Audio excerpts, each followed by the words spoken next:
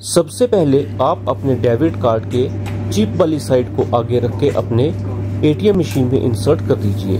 इसके बाद ATM machine आपके कार्ड को रीड करेगी। रीड करने के बाद डोमेस्टिक और इंटरनेशनल में से आप डोमेस्टिक सेलेक्ट कर लीजिए और थोड़ी सी प्रोसेसिंग लेने के बाद आप यहाँ पे इंग्लिश, हिंदी या फिर पंजाबी कोई भी लैंग्वेज जो आप चाहते हैं वो सिलेक्ट कीजिए और उसके बाद आपके पास यहाँ पे ऐसे ऑप्शंस आ जाएँगे जिसमें cash withdrawal PIN change fast cash ये होगा। तो आपको कैश विड्रॉल के ऑप्शन को सिलेक्ट कर लेना है।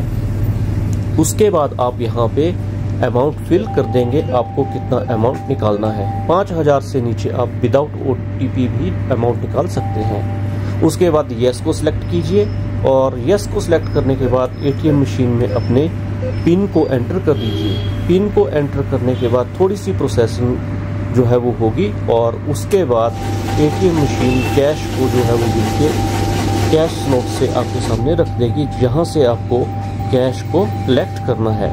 अगर आप यहाँ से कैश को कलेक्ट नहीं करते हैं तो एटीएम फिर से कैश को अंदर ले जाता है। तो आप यहाँ से कैश को कलेक्ट कर सकते हैं।